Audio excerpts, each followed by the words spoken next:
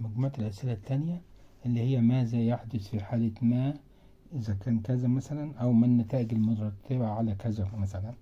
فهنشوف الأسئلة دي. أول حاجة ماذا يحدث في حالة تعرض حياة الكائنات الحية للتهديد المستمر؟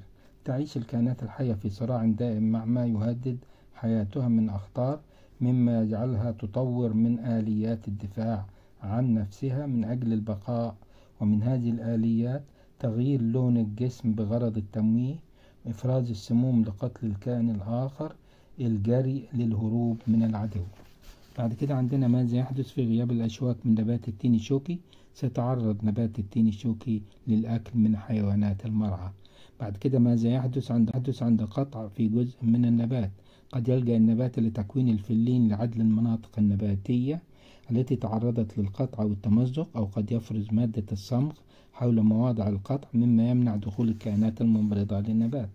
ماذا يحدث عند تعرض الجهاز الوعائي في النبات للقطع أو الغزو من الكائنات الممرضة أو ماذا يحدث عند غزو الكائنات الممرضة للجهاز الوعائي الوعائي للنبات. هنقول تتكون التيلوزات فتعيق حركة الكائنات الممرضة إلى أج- الأجزاء الأخرى في النبات. طيب ماذا يحدث عند إصابة النباتات ببكتيريا سامة.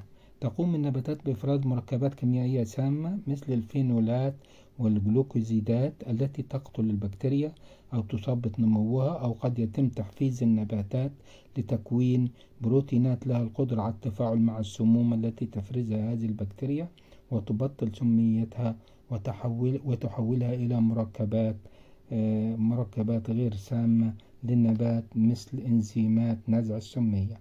طيب ماذا يحدث عند نقص إفراز هرمون التيموسين في الإنسان؟ يؤثر ذلك بالسلب على مناعة الإنسان حيث تقل عمليات نضج الخلايا الليمفاوية الجذعية إلى الخلايا التائية خاصة الخلايا التائية وتمايزها إلى أنواعها المختلفة اللي هي T C و TS داخل الغدة التيموسية. ماذا يحدث عند التيموسية؟ ماذا يحدث عند استئصال اللوزتين في الأطفال؟ تقل درجة مناعة الجسم قد تنجح الميكروبات الموجودة بالطعام والهواء في دخول الجسم طب ماذا يحدث عند استئصال الطحال من الجسم؟ تقل درجة مناعة الجسم حيث تقل قدرة الجسم على التقاط الميكروبات أو الأجسام الغريبة وكذلك تقل القدرة على التخلص من الخلايا الجسدية الهرمة المسنة ككرات الدم الحمراء المسنة وذلك نتيجة نقص الخلايا البلعمية الكبيرة والخلايا والخلايا الليمفاوية التي توجد في الطحال غياب العقد الليمفاوية من الجسم ماذا يحدث؟